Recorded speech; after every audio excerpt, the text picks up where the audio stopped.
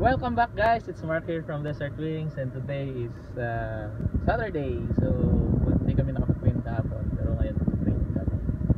And uh, short recall training lang kasi medyo mainit na at medyo na ang so stay tuned guys. And I hope you enjoy